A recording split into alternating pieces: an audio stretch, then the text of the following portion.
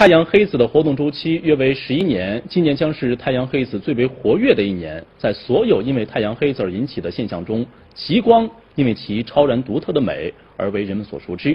那么近日呢，韩国 KBS 电视台就拍摄到了今年最为壮观的极光现象。在沉醉于极光之美的同时，专家也提醒，活跃的黑子活动将可能会导致通讯故障等问题。画面中的极光现象拍摄于本月五号，地点是加拿大的黄刀镇。太阳下山后，夜幕刚刚降临，天空中出现了一片豆绿色的光线。紧接着，白色、黄色更多的色彩加入进来，上演了一场绚丽的极光秀，并瞬间覆盖了整个夜空。极光是由于太阳黑子爆炸后产生的高能粒子进入地球大气层而产生的现象。如此壮观的极光现象，虽然令人叹为观止，但同时也是强大的太阳风暴的预兆。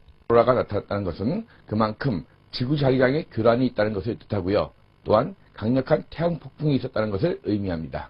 KBS 电视台报道称，本月十六号发生了今年以来最大规模的太阳黑子爆炸现象。美国国家航空航天局发出了今年第一次太阳风暴的警报。